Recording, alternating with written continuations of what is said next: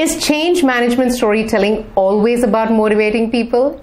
Welcome to Thank God It's a Story Saturday, a weekly video series where I share stories with you that you can use to make your messages stick.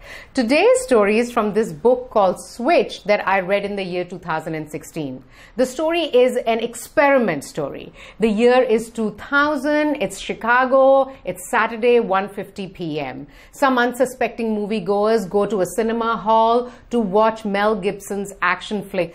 As they are going inside the movie hall, they are given a bottle of soft drink and a popcorn bucket and asked to stay back after the movie to answer some questions. Now, the popcorn buckets are of two sizes, medium and large, and they are filled right to the brim with stale popcorn on purpose because these people are a part of a research. Now, as the people are walking in, the sneaky researchers have already weighed the popcorn buckets beforehand. The researchers are trying to find out would the people with larger bucket size consume more popcorn?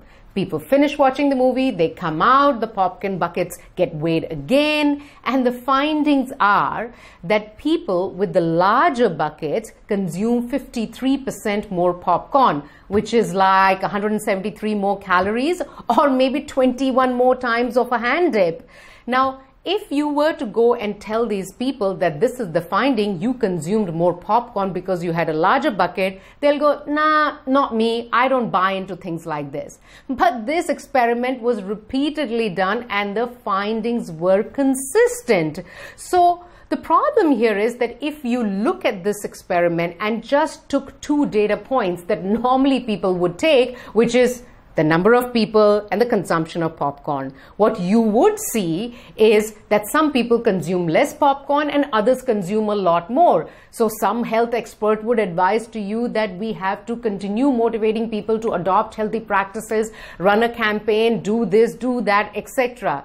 But really the problem lies in just the size of the popcorn bucket. There is a simpler solution in hand, which is to change the bucket size. Sometimes in a change environment, what seems like a people problem is often a situation problem. This story may also make you think harder why McDonald's size normal has changed and evolved so much over the years.